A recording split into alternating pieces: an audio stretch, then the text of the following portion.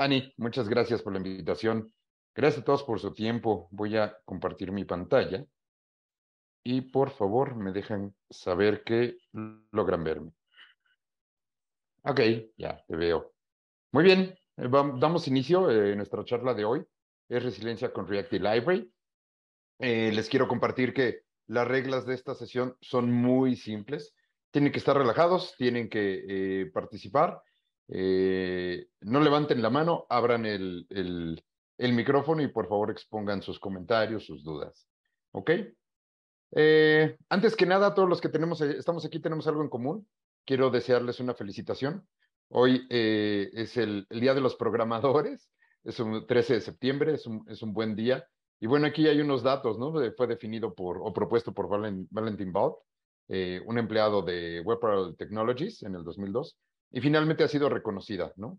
Eh, hoy es el día 256 del año. nos encantan todos estos tipos de datos a todos los que programamos y somos tecnólogos. Entonces, así es como se ha definido. Así es que muchas felicidades a todos y nuevamente gracias por estar aquí. Eh, estamos aquí, estamos en la oficina, Ani. Todos dicen feliz día del programador, pero nadie te dice sal temprano, ¿no? Es un meme, es algo que amamos los programadores, ¿no? Los, este, los memes. Entonces estamos bien identificados y hay cantidad para aventar para arriba. Y seguramente surgirán unos de la, de la charla de hoy. Yo, como ya me presentó Ani, soy Jorge Islas, eh, soy amigo de ustedes. Eh, tengo el cargo de Solution Architect en Library Latam y ya desde hace algún tiempo que conozco Library eh, y fui invitado hace ya, hace algún tiempo a, colaborar con Library. Tengo más de 20 años de experiencia implementando soluciones digitales, ¿no? Pero siempre, siempre hay oportunidad de aprender y la verdad es que no hay nadie mejor que todos juntos, ¿no? Para exponer problemas, perspectivas y encontrar soluciones. ¿Qué vamos a ver hoy? Eh, vamos a hablar un poco de cómo suceden los milagros, ¿no? A veces eh, eh, dentro del, territorio de, TI nos piden, oye, tenemos que tener esto en cinco días, ¿no? Y la programación a veces toma diez. Este, y yo les digo a mis jefes, yo tengo un acuerdo con Dios. Este, él no programa y yo no hago milagros. Entonces, hay, una manera, ¿no? De cómo lograr eso, que no se caiga el sistema. Y, eso está relacionado. Vamos a echarnos un clavado a ver qué es la resiliencia. ¿no? Es un, un, término acuñado hace ya algún tiempo, pero vamos a darle un contexto específico dentro del área de sistemas. También eh, vamos a ver lo que son las eh, aplicaciones remotas, porque es un punto, una característica muy importante para poder eh, tener un sistema basado en resiliencia. Vamos a abordar un patrón específico que se llama Circuit Breaker. Vamos a ver cómo se implementa en, JavaScript y finalmente, basado en los remote apps, cómo, cómo, cómo se implementa ¿no? en, el framework React. Vamos a abrir un espacio que le llamamos de preguntas y respuestas, pero no necesariamente se esperen hasta él, ¿de acuerdo? Por si alguien eh, eh, quiere aguardar o quiere ampliar o quiere exponer algo diferente, vamos a tener un espacio al final. Pero nuevamente los invito a que participen eh, de forma proactiva en esta sesión. Pues vamos a, empezar, ¿no? ¿Cómo suceden algunos milagros? Y para esto quiero recurrir a, a un escenario. En el 2009, un, un avión hizo un, un, aterrizaje, ¿no? Un riosaje en el, en el río Hudson, ¿no? Dentro de, eh, después de que una parvada de aves eh, chocó con uno de los motores del avión, colapsó el motor y, y el piloto tuvo que, que, acuatizar, ¿no? Creo que es el nombre adecuado. Y cabe mencionar que las, las condiciones eh, climáticas de, en, en, el momento en que tuvo que hacer, tomar esa acción eh, no eran apropiadas o se esperaba mucha gente debía haber muerto. Afortunadamente, eh, había eh, barcos cerca, muchos tomaron la iniciativa de acercarse para oportunamente subir a todas las personas que sobrevivieron a bordo. Pero la verdad es que de no haber sido de, muchas condiciones, muchas personas pudieron haber sucumbido ahí en ese momento por las condiciones del río, ¿no? Como lo vemos en, en la foto, ¿no? Este, no iban a sobrevivir mucho, el avión, el avión se hundió y, en, pocas, en pocos minutos eh, bajó mucho la temperatura del, río Hudson. Este fue un fenómeno en el que eh, se tuvo cero decesos en el momento y naturalmente es considerado un milagro, ¿no? Pero nosotros como programadores o como escépticos de muchas cosas, ¿no? Este, eh, vamos a abordar una pregunta, ¿no? el fenómeno eh, o el acuatizaje exitoso en el río Hudson, eh, ¿qué, fue, no? ¿Fue un acto heroico? ¿Fue un milagro? ¿O simplemente una expresión de, una capacidad de respuesta fundamentada en algo que se llama resiliencia y caos? ¿De acuerdo? Nadie esperaba que esta parvada estuviera ahí, que se metiera y que hiciera colapsar un, motor. Es algo que sucede no, no, hay, no hay indicio de cuándo sucedió la, última vez. Entonces fue un conjunto de condiciones que no se pudo haber esperado. ¿De acuerdo? Y hay, hay dos términos, ¿no? El, fenómeno que sucedió fue caótico, ¿de acuerdo? Sin embargo, el, el, piloto, el, héroe en esta condición, junto con eh, sus colaboradores, inclusive remotos, supieron aprovechar la instrumentación, toda la tecnología que tenían a la mano para salir adelante, ¿no? Eh, observar, opinar, medir, es algo bien importante, ¿no? Cuando no, no, no se predijo. Y, aprovechando estos recursos que tenía en la mano, se tomaron decisiones, ¿de acuerdo? Y podemos, no, no vamos a desacreditar una, una deidad, ¿no? Una entidad o la suerte, pero muchas condiciones se prestaron para que esto no, no generara consecuencias, ¿no? Entonces, con esto tenemos una foto de, del caos, y aunque lo vamos a definir, de, de, de herramientas a la mano para obtener o tomar decisiones eh, basadas en resiliencia, ¿de acuerdo? Eh, estos, estos factores son muy importantes, ¿no? Primero, para, eh, debemos de tener el caos, debemos de tener herramientas para poder observar, ¿no? Para tener la telemetría, para medir las opciones y, no solo herramientas al frente. Muchas veces en colaboración, en este caso, en este ejemplo, la persona responsable del control aéreo pudo medir espacios, tiempos, otros riesgos que, que, implicaban la, la, situación que de por sí ya era caótica.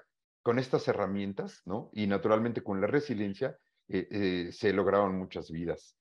Esto ya está inventado, ¿no? No es un análisis que yo hice. Y de hecho tiene, tiene un, un, fondo que ya tiene un título y se llama Ingeniería del Caos. En esta sesión no nos vamos a meter en la ingeniería del caos, vamos a entrar a un pedacito muy importante que es la resiliencia, pero los invitamos ¿no? a, que, a, que, a que se enteren a, todo el valor que del caos que se construye con ingeniería, ¿no? E, este, nos puede ayudar a generar milagros, ¿no? O a poner todas las condiciones, ¿no? De herramientas, observabilidad y resiliencia para salir adelante de, de, situaciones de emergencia o caóticas. Y eh, vamos adelante, ¿no? Vamos a, a, dar la definición de resiliencia. La resiliencia es considerada desde la perspectiva de los sistemas, ¿no? Como la habilidad de observar o monitorear eh, en las eh, herramientas adecuadas y con base a toda esa telemetría tomar una decisión objetiva para salir adelante de una situación de emergencia o eh, de, algo que, genera caos, ¿no? Entonces, esta es la conjunción, eso es la resiliencia y es las decisiones que tomamos lo que logra bloquear y que las cosas se empeoren y rescatar lo más posible de la situación. Esto en el ámbito de los sistemas, ¿ok? Ahora, ¿cómo es la resiliencia en el contexto de, los sistemas? Eh, aquí dimos origen a unos conceptos, ¿no? Eh, caos, telemetría y resiliencia. La realidad, y todos estarán familiarizados con esto, eh, hay diferentes tipos de fallas que suceden en todos los sistemas. Hay fallas de operaciones, de aplicación, de infraestructura y naturalmente de software. De operaciones podemos clasificar el tipo de fallas como observabilidad insuficiente, poca capacidad de planeación o una gestión de incidentes inadecuados, ¿no? Y esto recae en el área de operaciones. Y cabe mencionar que cada, cada área eh, tiene, tiene su metodología o, su perspectiva de gestión del caos, ¿de acuerdo? de aplicaciones, pues hay eh, fallas en cascada. ¿A quién no le ha pasado que falla un sistema y de repente ese mismo tira a otro y ese mismo tira a otro, como las fichas de dominó? ¿no? Hay este, lluvias de reintentos, ¿no? ¿Quién no cuando de repente no carga la red social, le ponemos, le ponemos refresh, refresh, refresh, refresh, refresh? Pues eso también lo hacen los sistemas, ¿no? Hasta obtener una, una respuesta. Naturalmente llega a haber malas configuraciones, ¿no? Es algo muy común que nos encontramos, problemas de versionamiento y, por lo mismo obsolescencia. De infraestructura tenemos fallas, ¿no? De dispositivos por calentamiento, porque llega a su fin de vida, eh, fallas de enlace, ¿no? del Internet Service Provider, ¿no? que, que, se cae. Eh, fallas de centros de datos, desaprovisionamiento de energía, falla en una planta, de software, ¿no? Eh, expiración de certificados, este movimiento de licencias, eh, seguridad explotada por entidades externas o internas, bugs o defectos de, tiempo de ejecución, ¿no? En, en, la máquina virtual, en nuestra herramienta de orquestación de contenedores, o bugs de lenguaje nativos, ¿no? Con los que nacen. Todo esto existe y está a la redonda y están al acecho ¿no? De, arruinarnos el día. Ahora, todas esas fallas. Al igual que, como le hicimos como el ejemplo del, del, milagro del río Hudson, eh, eh, pueden ser mitigadas, ¿no? Pueden ser previstas para mantener la operación eh, con, con, elementos muy, muy importantes, ¿no? y podemos enfrentar, enfrentar todas esas fallas con resiliencia. Para eso, la tecnología y varias entidades líderes, ¿no? Como es Netflix, este, como es Facebook, nos han, nos han fortalecido con frameworks, han puesto a trabajar en esto, ¿no? Y nos han dado patrones como el Circuit Breaker, ¿no? Patrones como el, Bullhead, ¿no? Que eh, em, a mí me han preguntado mucho, oye, ¿qué, es el, el Bullhead, ¿no? El, el, lo más destacado de implementación de este patrón, pues es el, el eh, los pool de conexiones, ¿no? Eh, sabemos que todo, toda conexión a una base de datos tiene un pool para no agotar las conexiones y esa la vamos administrando. Y e, este, este es un, ejemplo muy destacado de, de, este patrón, pero eh, eh, no, no se agota nada más en una conexión a base de datos, sino también podemos manejar un pool de conexiones a consumo de servicios, de servicios como tipo REST o de tipo API, y de esa manera no logramos, eh, logramos prevenir una sobrecarga de solicitudes de servicios la eh, compensación de transacciones, que consiste en hacer un rollback de transacciones. Entrándonos un poco más, una transacción tiene estados, ¿no? Estado de solicitada, estado de evaluada, estado de, de, eh, procesada, estado de confirmada. Pero muchas veces este ciclo de estados, ¿no? El quinto sería eh, la transacción completada. Este ciclo de estados depende de otros sistemas y podría, podría tener una, una, este, una caída a ese sistema de dependencia y la transacción no se puede quedar aquí, ¿no? En cada estado, también otros eh, eh, sistemas aledaños pueden estar en un estado diferente. Entonces se implementa un patrón de reversa de la transacción en el que podamos recorrer el estado y afinar los sistemas dependientes de la misma manera, ¿no? Y no afectar eh, o no batir la data, ¿no? de una transacción. También el, monitoreo de, salud de los servicios disponibles, que hace un ping eventualmente para saber que está vivo, que hay conectividad, ¿no? Y, muchas veces este está mitigado por eh, los scripts de self-healing, ¿no? Donde hay elasticidad, hay replicación de servicios. ¿De acuerdo? Entonces hay, hay, hay muchas herramientas que ya están construidas, que están probadas, que tenemos a la mano. Estas, eh, aquí listé solo cuatro para esta introducción, pero realmente hay más. ¿Y por qué no me detuve en el, en el patrón de Circuit Breaker? Bueno, porque es el en el que nos vamos a adentrar, ¿no? Eh, he, descrito un poco las otras tres, hay más, naturalmente, pero vamos a entrar en este que es, es muy útil en, en nuestro esquema de, de, sistemas, porque hay conceptos muy importantes que nos van a ayudar a prevenir que, que no se caigan las cosas como un, unas fichas de dominó. Eh, ya que vamos a tomar una decisión, vamos a dar por hecho que el contexto de utilizar este, este patrón, eh, recae o tenemos estas condiciones, ¿no? La primera y la más este, común es que está orientado a la nube y microservicios, ¿no? Entonces, eh, eh, si tenemos una arquitectura de microservicios, servicios distribuidos, ¿no? En multinube, en elementos externos de los que, donde dependemos de, de Internet y disponibilidad, donde hacemos llamadas de servicio a servicio, ¿de acuerdo? Donde existe un fenómeno de, caídas de red, como es la latencia, ¿no? Que no es una caída, pero eh, influye la latencia, la, poca baja respuesta. Y cuando eh, nosotros decimos, ok, si no te contesta, vuelve a intentar, no vuelve a intentar, que es el patrón de, reintento, no basta, ¿no? No basta para ello. Entonces, eh, cuando tenemos estas condiciones, nosotros podemos pensar, o nuestro jefe nos diría, ¿Cómo podemos incrementar la resiliencia ante fallos. Eh, eh, y tolerancia a fallos en nuestro sistema de, en nuestra arquitectura de sistemas? Naturalmente es con el, con el patrón Circuit Breaker. ¿En qué consiste? El patrón Circuit Breaker consiste en tres estados, ¿de acuerdo? Eh, cuando está e, esta, este diagrama de flujo, muestra solo los estados del patrón, ¿ok? No, no, no es la integración de sistemas. Entonces, nuestro circuito, como lo es un circuito eléctrico, mientras está cerrado es porque hay, porque hay conexión, porque hay respuesta, ¿de acuerdo? Porque está prendido el foco. Entonces, si todo está bien, se mantiene en un ciclo solicitando servicios y cayendo. Y, y, nuestro, eh, nuestra bandera está enmarcada como cerrada. Cabe mencionar, pongan eh, por favor mucha atención en esto, que la aproximación de configurar nuestro circuito eh, va a estar basada en dos, en dos factores. La cantidad de transacciones contestadas o el tiempo en que nos contesta la transacción. ¿De acuerdo? Porque siempre, siempre puede haber un margen de fallas, puede haber un margen de error. Y ese margen nosotros vamos a definir un, un, este, un rango, un umbral en el que vamos a considerar una respuesta saludable. No es del 100%, ¿de acuerdo? Porque siempre hay cosas que no podemos controlar, pero tiene que haber un margen. Entonces, si eh, este índice de fallas, ya sea en tiempos de respuesta o en, o en cantidad de, servicios no contestados, está por debajo del umbral configurado, el patrón, digo, perdón, el, circuito sigue cerrado y se siguen haciendo solicitudes.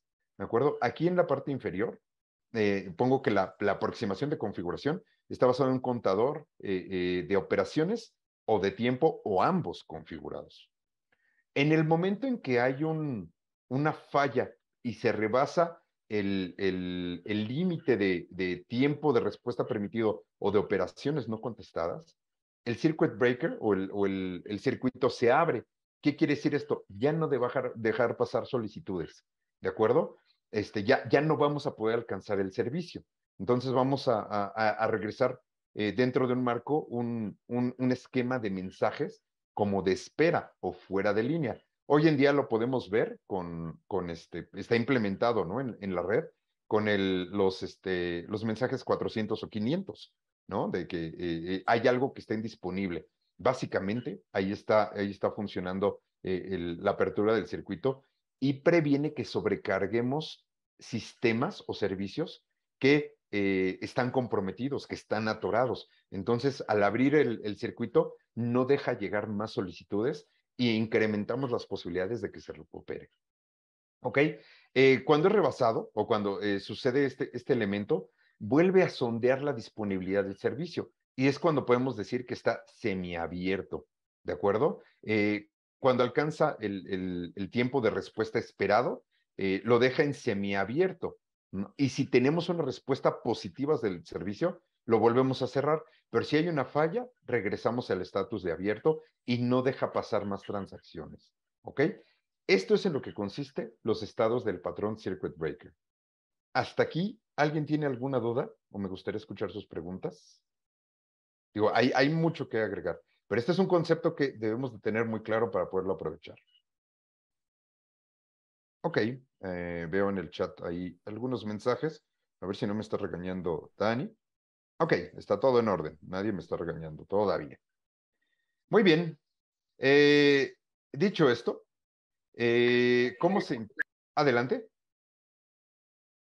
Ok. ¿Cómo se implementa esto, no? ¿Cómo, cómo luce en un esquema de, sistemas y servicios?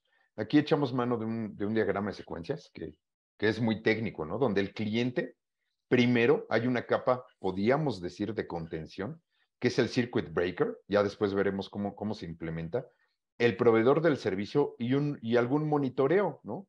Pero nosotros no queremos estar abriendo y cerrando esto de forma, eh, este, de forma manual, ¿no? El monitoreo es importante enterarnos de lo que está pasando, pero sí necesitamos que sea automatizado. Entonces, eh, eh, cuando hay respuesta del supplier, El, mensaje va y viene hasta el cliente pasando por el circuit breaker.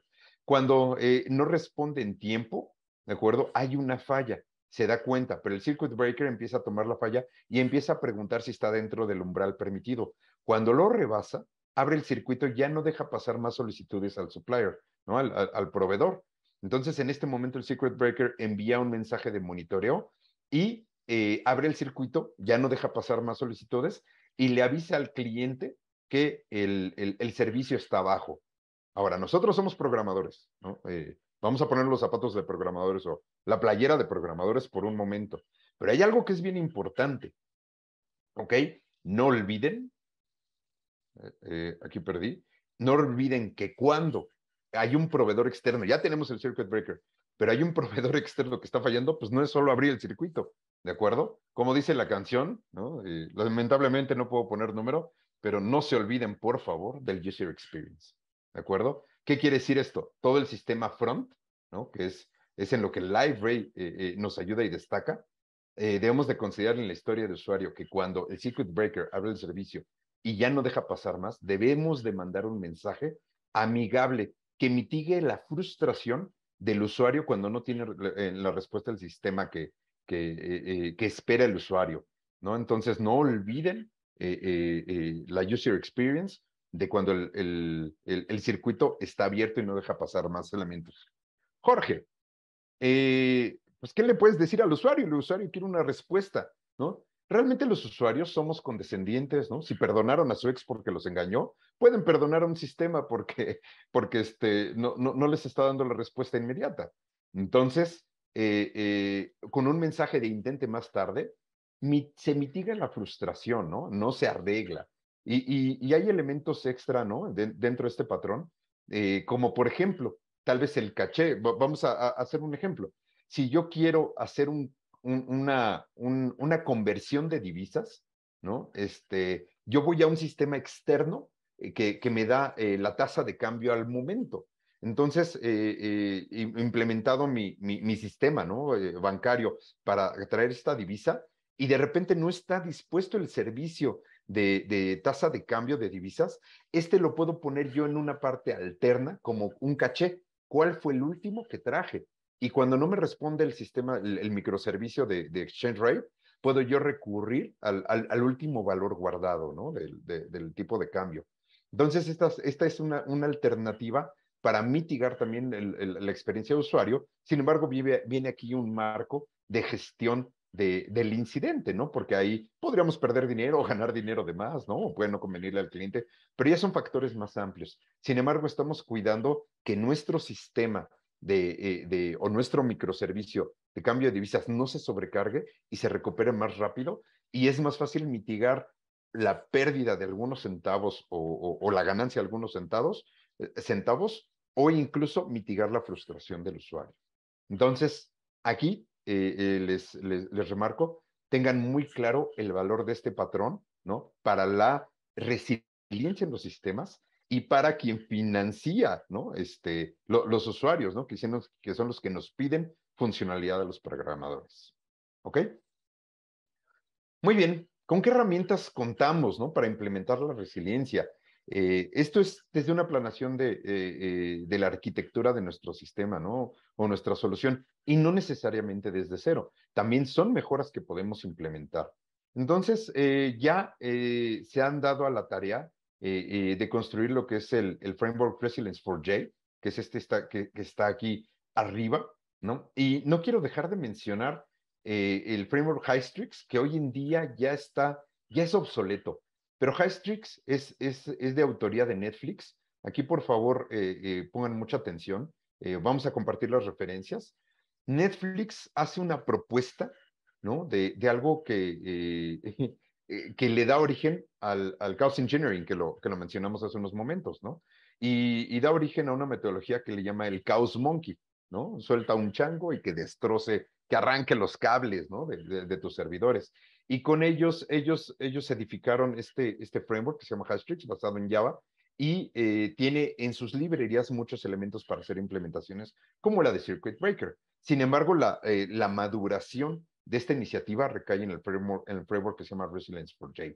¿Ok? También existe Sentinel, que es, tiene, tiene el, el también es una librería de frameworks, ¿no? De implementación pronta, que vamos a ver un, un, poquito al final. Esta es propuesta por Alibaba. Y también el Spring Cloud Secret Breaker, basado en Spring Boot, ¿no? Ya Spring Boot es una librería más de Spring Boot. Este, está listo para hacer la implementación rápida de estos, de estos, este, de, de este patrón.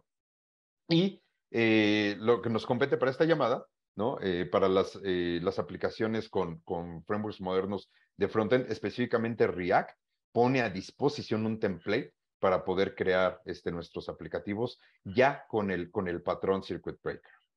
¿Ok? Muy bien, hasta aquí nos queda claro qué es el patrón, qué es la resiliencia, eh, con qué herramientas contamos. Jorge, ¿cómo se conecta esto con Library? Bueno, Library ha hecho un esfuerzo de desacoplar eh, la evolución o la implementación de aplicativos, ¿de acuerdo? Y esta característica se llama eh, los remote apps, apps, perdón, remote apps que se encuentran en Library. ¿En qué consisten? Bueno, Library va, va, a poder soportar, va a poder albergar eh, frameworks como los Angular, como los Vue o JavaScript este, nativo.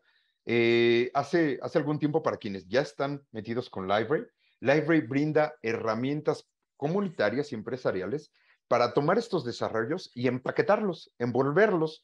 Ese es el término técnico, ¿no? Envolverlos en un esquema de microservicios y desplegarlos dentro del library y administrarlos dentro del library. Sin embargo, ahora los hemos desacoplado de ese envoltorio basado en Node.js y implementamos las remote apps. ¿Qué quiere decir esto? Que estas, estos aplicativos eh, nativos de JavaScript pueden vivir en otro servidor, ¿de acuerdo? Y pueden evolucionar y están referenciados mediante library, mediante un, un, visor para ponerlos, poner dentro de ejecución dentro de nuestro portal de library. Entonces, todos los beneficios que trae library de caja como la gestión, nada más, la gestión de identidades, ¿no? Y un login, este, está librado y nos da un, progreso bastante amplio ante un aplicativo como les platicaba, ¿no? El de, el de eh, las tasas de cambio. Y nosotros que somos programadores podemos seguir cobijando al framework que más amemos, ¿no? React, Angular, al que queramos, y, y no tenemos que meternos dentro del library para poder implementarlo. Sigamos programando en lo que queremos, ¿no? Y nada más hagamos un registro de, e, en, en library. Es tan simple como abrir una cuenta en Tinder. ¿Cómo es eh, la aproximación de los remote apps en, Library? Aquí eh, eh, está un servidor Library, ¿no? Y una página Library donde hace una invocación de un servidor que vive en otro lugar, ¿no? Puede ser un Spring Boot, puede ser un web server. Pues es, es, muy fácil publicar un, un, aplicativo en estos frameworks modernos, ¿de acuerdo? Y Library lo sindica o lo trae. ¿Y qué quiere decir esto? En este otro servidor eh, eh, nuestro aplicativo puede evolucionar, puede seguir evolucionando sin infringir eh, reglas de seguridad que necesita nuestra institución para, para verlos implementados, ya que el library primero va a pedir que se, que se firme y hasta entonces puede usar el aplicativo. Se recomienda mucho también, ¿no? poner un marcos, ¿no? Frameworks dentro de, la misma aplicación de prevención de fraudes, ¿no? De, certificación de que la sesión está viva, ¿ok? Esta es una manera que, que, lo podemos exponer, que es mediante un iframe, ¿de acuerdo? Que ya viene listo para nuestro registro y lo podemos utilizar como un widget. También podemos agregar eh, eh, eh, elementos, por ejemplo, de aprovechamiento de sesión para nuestros aplicativos, manejando como un custom element. Simplemente es un, elemento que va a procesar el navegador, pero que va a vivir en nuestra página y va a ser entregado como una remote app. ¿de acuerdo? No importa eh, eh, dónde viva, esto va hacia adelante, ¿ok? Entonces, esta es la manera o este es el paradigma en el que el library eh, puede entregar extensiones 100% React, Angular, Vue, etcétera, sin necesidad de que tengamos que desarrollar en library o tengamos que meterlo, envolverlo en un, este, en un JSR o en un OSG. ¿Ok? aquí en la parte inferior se encuentra la, referencia de, cómo se hacen estas implementaciones, que realmente es, muy simple, ¿no? Es muy intuitiva. También, si yo no quiero eh, guardar estos aplicativos en un Spring Boot o en un microservicio o en un web server, eh, les puedo dar la noticia de que estos, estos aplicativos pueden vivir en el DAM, en el Digital Asset Manager de Library. Simple y sencillamente hago upload de mi aplicativo, que son archivos JS, son archivos de texto plano y su estilización, ¿de acuerdo? Esto, hago un upload así eh, eh, común. Perdón que no haga esto en vivo, vamos a, entrar a un video, ¿no? Porque ya saben que, en vivo eh, a menudo las cosas fallan. Y nosotros solo tenemos que ver cuál es la liga de publicación del, del web DAV, ¿no? una vez que nuestro, que, que nuestro activo está o nuestro aplicativo está subido aquí. Lo podemos edificar con el IDE que queramos, ¿no? Con Visual Studio Code, este, con eh, eh, JDeveloper, con, con lo que quieran, ¿no? Entonces lo subimos porque finalmente son archivos de texto plano, son JavaScripts. Y lo único que hacemos es registrar nuestro aplicativo en un formulario de a lo mucho eh, eh, ocho campos para decir que ya lo tenemos disponible como un widget para arrastrar y soltarlo en la experiencia.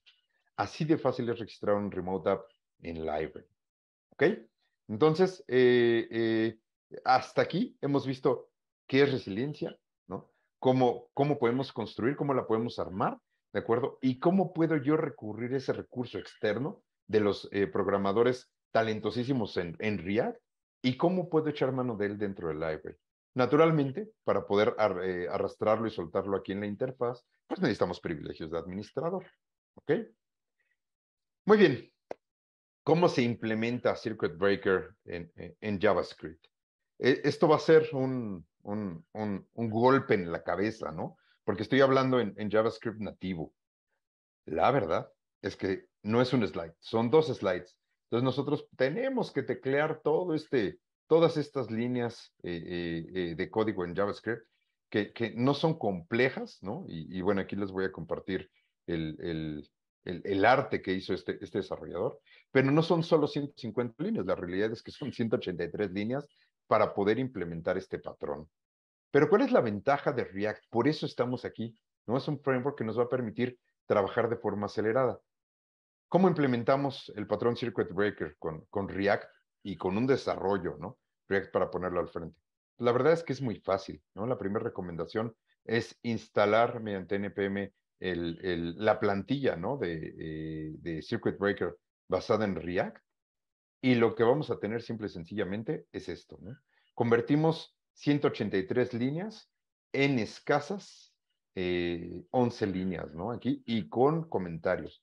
Entonces, este es el, e, este es el código que ya está listo para establecer nosotros los umbrales de, permisividad, ¿no? De, como lo platicábamos, de tiempo o de operaciones lanzadas o de ambos, y, que el, patrón Circuit Breaker nos permita darle resiliencia a los sistemas que va a estar consultando eh, nuestro aplicativo. ¿Ok? Tal vez estoy yendo un poco rápido. Eh, si alguien tiene, por favor, alguna duda, alguna pregunta, abran sus micrófonos. Eh, la verdad es que así se esperaba, no, quiero entretenerlos eh, eh, mucho y nos, pon, nos pondremos manos a la obra con esta ponencia y estas referencias. ¿Ok? Antes de irnos al, a, la parte de preguntas y respuestas, aquí tengo un video donde está en ejecución un sistema, ¿no? está el Circuit Breaker monitoreando la ejecución y los, lo voy a reproducir y les voy a ir platicando, ¿no? Aquí podemos ver que eh, eh, estamos corriendo un script donde hace solicitudes de, a, un sistema bancario.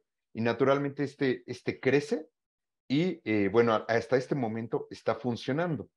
El, el, simulador del core de transacciones está aquí en, en, esta herramienta que se llama el SOAP y de repente lo tronamos, deja de haber, deja de responder el, el core transaccional y podemos ver que hay una caída de las solicitudes. Esto naturalmente o de forma inmediata debería estar afectando a nuestro sistema. Es decir, nuestro sistema se queda congelado o debería estar procesando, ¿no? O una, una, o una ventana remota. Sin embargo, aquí hacemos un refresh del home y naturalmente nuestro sistema, ya que está abierto el circuit breaker, simple y sencillamente nos dice aguarde. El portal, el front, nos, nos contesta, aunque se haya caído toda la parte del backend, ¿no? La parte que está remota porque el, circuit breaker ya abrió y finalmente el front tiene la capacidad de, de, este, de mitigar el que se quede congelado el sistema, inclusive que podría tirar la concurrencia o la, la, el, los señalamientos o la solicitud del servicio, podría eh, tirarnos más aplicativos, ¿no? Como lo platicamos en un inicio.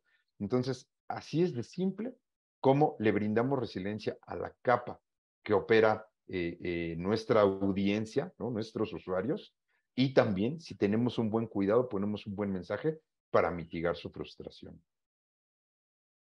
Y así es como llegamos al final de esta sesión. Espero que no se hayan quedado como la niñita, ¿no? De qué dijo Jorge. este, por qué me invitaron a esta sesión, por qué entré. Y me gustaría escuchar sus comentarios, sus preguntas. Voy a abrir el chat también, a ver si alguien tiene algo por ahí.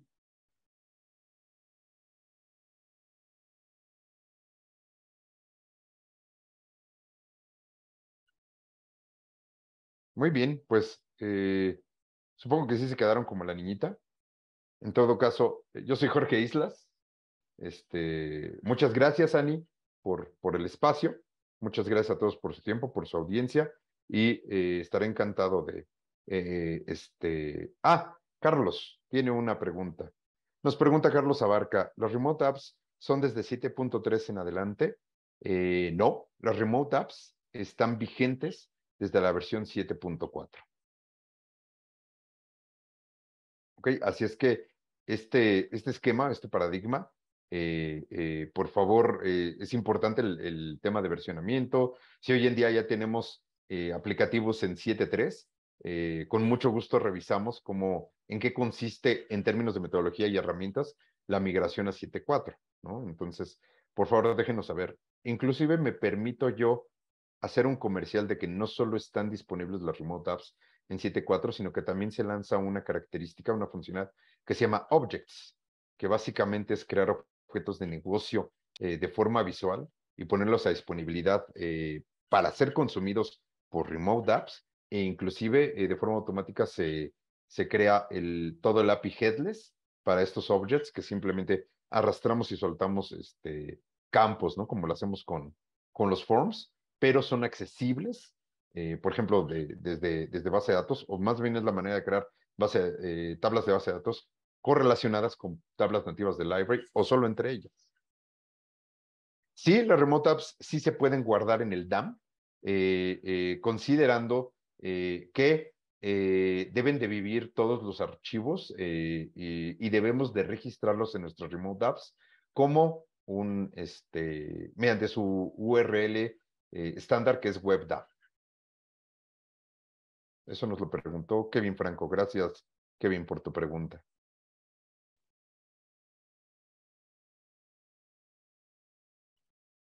¿Alguien más? ¿Alguien tiene alguna otra pregunta? Con mucho gusto, Kevin. Gracias.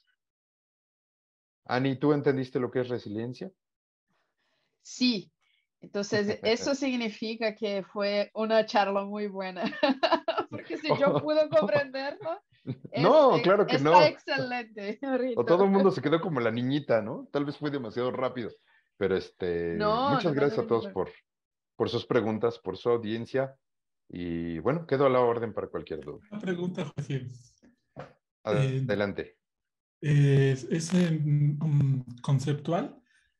Eh, respecto a la resiliencia, lo que entiendo es que sería como una capa eh, extra en donde vamos a obtener respuestas eh, en caso de que un sistema secundario, digamos, falle, ¿no? O un sistema del que dependen nuestras respuestas llegue a fallar. es lo que yo entendí. No sé si me puedes confirmar un, si es más o menos por ahí. Y la segunda sería, de qué manera nosotros o bajo qué parámetros podemos de alguna manera eh, esta respuesta, eh, qué tipo de parámetros o cambios podemos hacer o definir para que esa respuesta eh, se, se, ahora sí que entre la capa de resiliencia y nosotros podamos ofrecer eh, esta respuesta al usuario. Muchas gracias por la pregunta. Perdón, eres, eres, eh, bueno, por las dos preguntas. Eh, ¿Quién eres? Discúlpame. Mauri, soy Mauri. Mauri, a Mauri, muchas gracias. Eh, me gustó tu apreciación de que dijiste, es una pregunta conceptual. ¿Ok? Y desde la perspectiva conceptual mencionaste una capa, ¿no? Una, capa de resiliencia. Cuando hacemos un diseño conceptual, eh, sí, se, se implementa una capa de resiliencia. Sin embargo, voy a, voy a dar aquí un paso para atrás.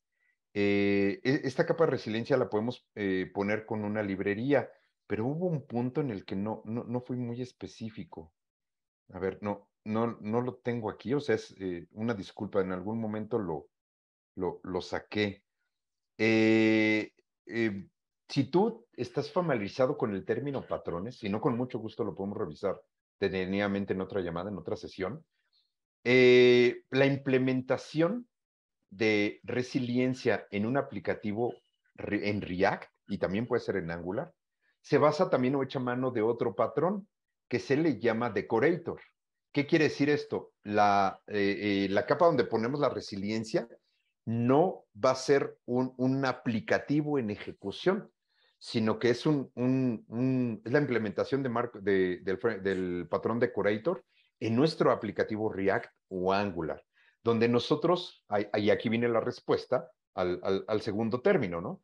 Eh, donde nosotros sí podemos este, establecer eh, los, eh, los parámetros adecuados para saber cuál es el umbral que está comprometiendo el desempeño de todo nuestro sistema, ¿no? El umbral, umbrales nos referimos a cantidad de transacciones que debemos de, de, haber lanzado y que no tienen respuesta o tiempo que tarda en, contestarnos el, el, sistema secundario, como bien mencionaste, ¿no? Entonces, pueden ser esos dos o los dos.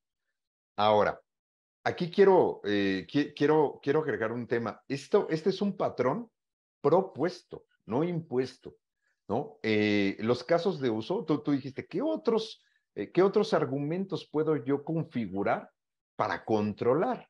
¿No? La verdad es que voy a rescatar algo que, que leí una vez del, del Chaos Engineering, es que estos patrones son propuestos y son una base para dar una solución, pero no son limitativos. Si tú en las necesidades de tu integración de sistemas encuentras eh, otros factores que debemos de considerar, eh, el, patrón tiene que evolucionar y va a evolucionar para mejorar y se incluirán entonces estos, e, estos factores, ¿no? Ya sea proponiendo un nuevo patrón o robusteciendo el actual patrón Circuit Breaker. ¿Contesté tu pregunta, Mauri? Excelente, 100%, muy claro. Y mira, déjame, déjame recurrir a, eh, disculpen que salga de la presentación y rompa la formalidad, que es característica de este tipo de sesiones, pero aquí oculté yo unos, unos, un diagrama, incluso, ah, aquí está, mira. Lo vamos a, lo vamos a presentar, que es un, un, un diagrama conceptual de una nube privada para una institución financiera. No es legible, ¿no? Aquí están los pasos del ciclo del DevSecOps, ¿no? El repositorio de imágenes. Este, este, este rectángulo grandote representa eh, eh, nuestra capa de, de, orquestación de contenedores, donde aquí se encuentran library conteniendo algunas, eh, algunas aplicaciones customizadas, ¿no? Unas remote applications que viven en el DAM. Y aquí en la parte derecha se encuentra nuestro core transaccional. Esta es una arquitectura estándar para un banco, ¿ok? Y aquí eh, eh, se pone un, un, servidor que funciona como un estándar, un, un, servidor que tiene un aplicativo corriendo, que es un standalone, que está corriendo eh, el patrón Circuit Breaker basado en Resilience 4J, ¿no? En, en, este framework. Se echa mano de la librería y todas las solicitudes, las solicitudes que hacen nuestra nube privada de, de transacciones, lo que hace es que primero el Resilience 4J evalúa la disponibilidad de los servicios del Enterprise Service Bus, que a su vez los consume del core, del core transaccional, ¿no? Evalúa esta disponibilidad. Si ponemos otro de estos aquí en medio, estamos mejorando la resiliencia de, nuestro, de nuestra arquitectura. Pero básicamente, eh, este, este, hace la solicitud al Enterprise Service Bus y a su vez este lo consume desde acá. Si en algún momento el Enterprise Service Bus, que a su vez tiene características de resiliencia, no nos está contestando porque se cae la conectividad, porque hay problemas en el data center o algo, este le va a permitir a, todo, a toda nuestra nube que está atendiendo el front-end con alta disponibilidad enviar el mensaje correcto a los usuarios, ¿no? Entonces, este es, esta es una base, es, es, muy grande, es muy amplio, digo, aquí, aquí se pone conceptualmente el DevSecOps, también, ¿no? Quiero agregar que esta arquitectura tiene un repositorio de identidades, ¿de acuerdo? Que es, que es eh, evaluada en el front, en el middleware, que es este, ¿no? Eh, eh, y finalmente en la transacción. Es cuando nosotros tenemos un token eh, físico o una semilla virtual en nuestra app de, banco de teléfono, ¿no? E, ese es el, el, que haría esto. Y dice, bueno, en el frente estás firmado, en el Enterprise Service Bus estás firmado y eres tú, y es, y es coherente con la transacción. Y finalmente, en la transacción estás firmado. Pero en medio tenemos una capa de resiliencia para cualquier incidente. De esa manera, damos nosotros resiliencia a nuestro front y también cuando se llega a comprometer uno de estos dos servicios, ya sea el transaccional o el Enterprise Service Bus, no va a permitir que le lleguen más solicitudes de los 80 mil usuarios ¿no? simultáneos y no va a sobrecargar los sistemas, va, va a darle un esquema de recuperación que finalmente es, ese es el propósito de la resiliencia. ¿no? Este, esta, este va a tener una observabilidad del el desempeño de, en tiempo y cantidad de transacciones que pueden atender y si no puede atender, no lo va a dejar pasar. Le va a decir, Enterprise Service Bus, recupérate. Y a su vez el Enterprise Service Bus le va a decir al core transaccional, core transaccional, recupérate. Yo aquí contengo las solicitudes de nuestros, de nuestros clientes sin frustrarlos, con un simple, es, es, un recurso muy barato, pero es con un simplemente intente más tarde. ¿Ok? ¿Contesté tus preguntas, Amauri?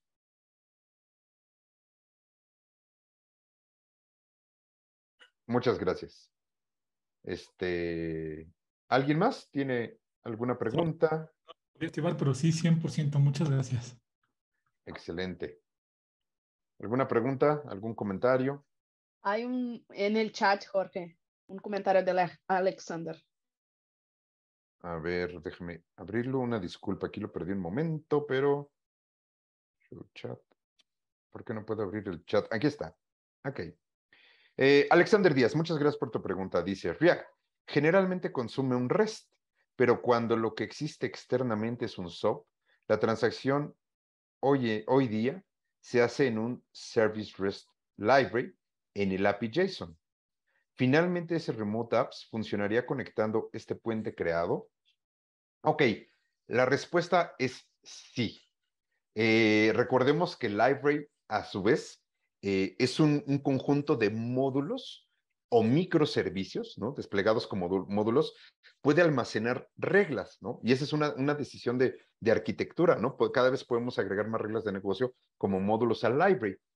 Finalmente, eh, tu pregunta va de la mano con el valor de, eh, de poner resiliencia o poner una capa de resiliencia con el patrón decorator en nuestro aplicativo React, ¿de acuerdo? Entonces, eh, eh, ya sea que consuma eh, del mismo library expuesto mediante un API REST este, un servicio, nuestro front va a estar decorado con el circuit breaker y en el supuesto caso que se le da un mantenimiento al módulo OSHI que tiene la lógica de negocio o que administra la transacción, si por alguna razón no, no hay respuesta, este va a dar una respuesta, la del front, que mitigue la frustración del usuario y va a permitir que, que, se concluya el mantenimiento al, al módulo que, donde, que, gestiona la transacción, ¿no? Que puede ser el controlador o el modelo, tal cual.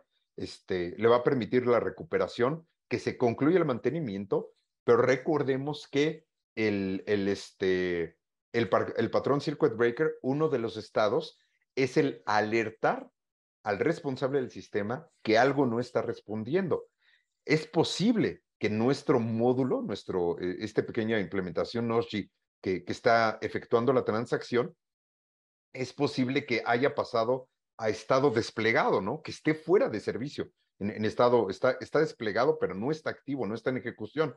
Entonces, nuestro patrón Circuit Breaker debe de reportar al administrador de sistema de que este, este módulo no está respondiendo. Entonces, eh, eh, tenemos dos acciones, ¿no? Aquí la, la, toma la toma de decisiones es no hacerle llegar más solicitudes, reportarle al usuario que está fuera de servicio y aparte reportarle al administrador del sistema que ese servicio no está disponible, aun cuando está dentro del library, porque implementamos la capa de resiliencia dentro de nuestro aplicativo de front.